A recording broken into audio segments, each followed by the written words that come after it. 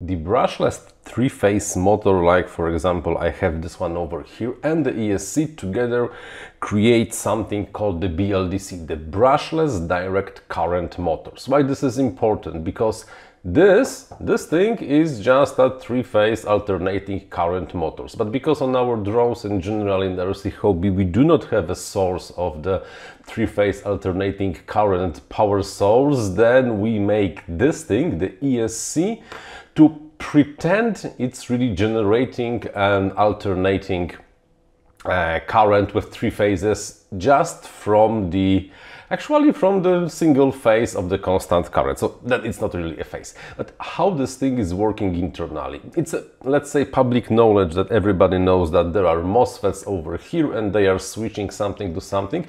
But how this thing is combined connected internally and how the ESC knows uh, what should be happening. So let me start drawing some lines on the, on the whiteboard, hoping that it will be enough for you for understand how the ESC work to and how it allows the electric brushless motor to rotate with the speed and with the torque we desire. So first of all, I have a separate series of videos about the motors and how the motors are winded. So today let's do only a really simplified version of how the motor is built internally and internally uh, all, all basically all of our motors are built as three phases connected terminated into something called delta because the three phases together create the, well, the triangle. And because delta is a triangle, you know. And we usually call the phases A, B and C, but this is important. It's not really that much of an important information. Now, we have three phases and uh, for the motor to work, the something has to change how the coils are energized. If I would have to show this to you by example, for example, if this, uh, this thing is a magnet on the rotor of the, of the motor, then if you want this to rotate clockwise, that means that this coil has to energize and the magnetic field has to pull the magnet, then the this one, then the this one, and so on, and so on, and so on. Uh, that means uh, that not only the each coils has to be energized in the precisely, and by precisely I mean really precisely computed moment, but also the power that's going to the coil depends on how much we open the throttle, how much we want motor to accelerate, the ramp up power and also a few other factors. But this thing, let's please do remember, is connected to only single, not really even a phase, just a single direct current plus and a single direct current minus. Two lines it's plus, it's minus, and what we need really is the ability for the coils to energize to commutate in the correct order. So here comes the electronics and uh, the MOSFETs uh, inside of the ESC are connected into something called three H half H bridges. Um, if you do not know what the H bridge is, then the Wikipedia has a pretty good example. And H bridge is the four switches that allows to reverse the polarity of anything. For example, the brushed motor. And the half of the H bridge is just two switches. We will not go into details of uh, how it's done internally. Today I will just show you where the MOSFETs are located and how they connect phases to plus and to the minus.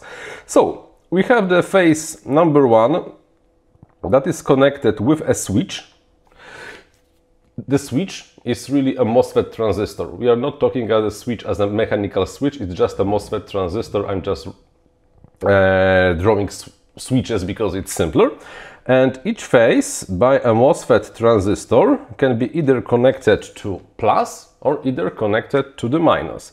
The same goes for the, oh, here too much to the phase B and here we have to the phase the minus and exactly the same situation will happen over here.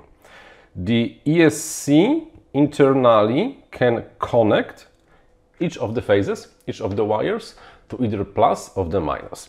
So and of course keep the uh, phases not energized, not connected to either both of those and also to let's say make something almost like a short circuit when it just connects one phase to both plus and the minus uh, to plus. No, not energized, let's, let's, let's keep it that way. So how is happening?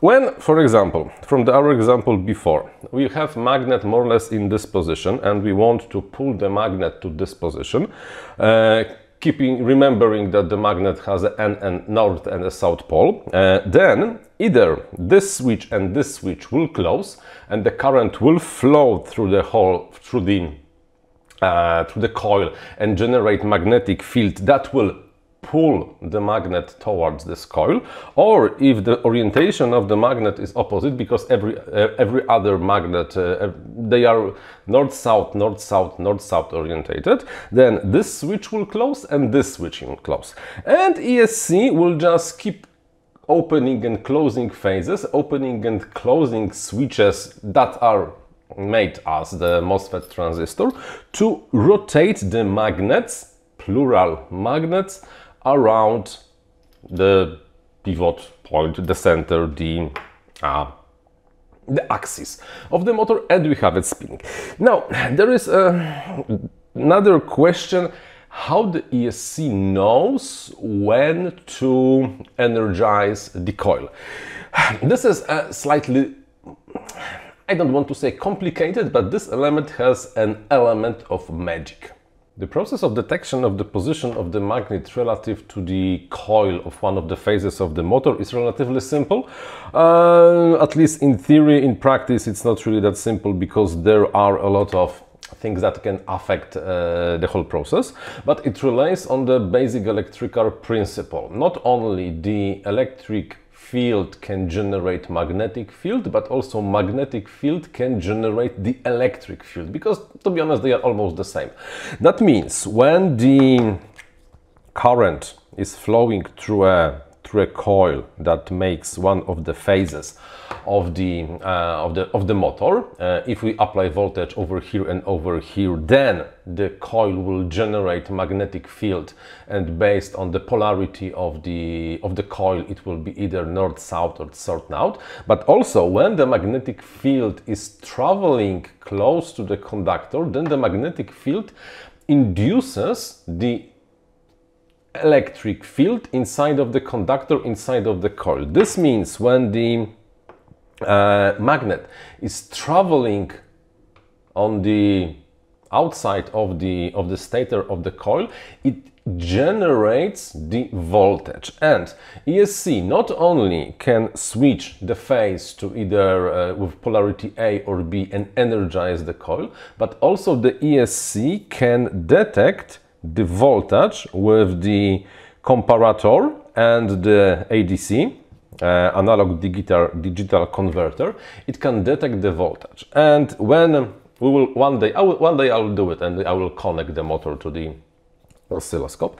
And then on the oscilloscope we will notice that the voltage generated by the by the magnets and the coil looks like the alternating current. This is why by checking the current voltage and the previous voltage the ESC knows what is the current position of the magnet relative to the phase. And thanks to this information, because we might think that um, motors accelerate very quickly, it can predict when uh, the next zero, by the, by the way, the, the moment of crossing of the coil uh, in the closest position of the, of the magnet, the magnet uh, closest to the coil is called the zero crossing.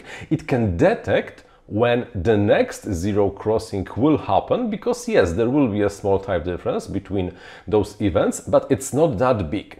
This is why the ESC knows when the motor when the magnet uh, crossed above one of the phases and more or less can predict when the next crossing will happen. Over here, of course, we have quite complicated electronic device with the comparator, with the analog digital conversion and other things like that. We are not going into this topic, but only thanks to the observing of the voltage generated by phases, the ESC can predict where magnet and magnets are right now and when will be the next event of the zero crossing. Because when the magnet is traveling like that, right now the coil should be energized, there should be a commutation because the magnetic field of this coil has to pull on this magnet and when we have the zero crossing, the coil basically has to let go because if it would continue to keep itself energized with the same polarization,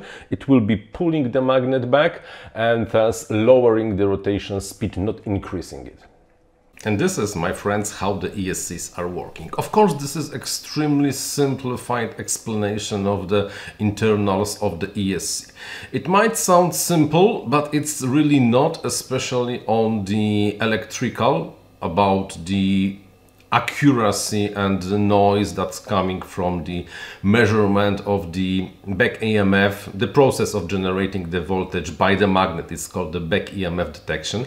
How accurate this is, how precisely ESC can measure time, can measure voltages, can measure when the voltage generated by the magnet is the highest, is the lowest, and so on. Amount of electricity that goes into the into the phases, into the battery back and also the how fast the switches, the MOSFET transistor in the uh, in the ESC itself can open and close. All of that makes the process of building a good ESC with good firmware not so trivial task because if you really look at this very carefully we have BLHeli and currently there is really not much besides BLHeli. Okay, the FETtec also has the, the keys uh, Flyduino, I think. I never remember the name of that.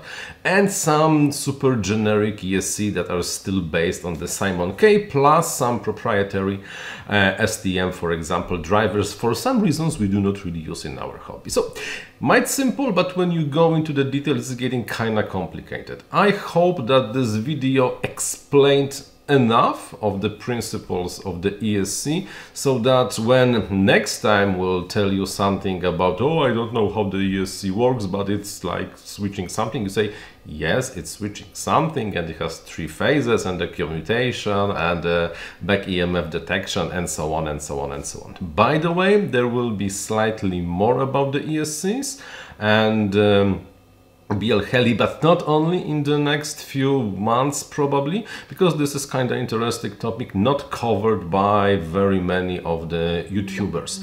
So, thank you very much for watching and until the next one. Bye bye.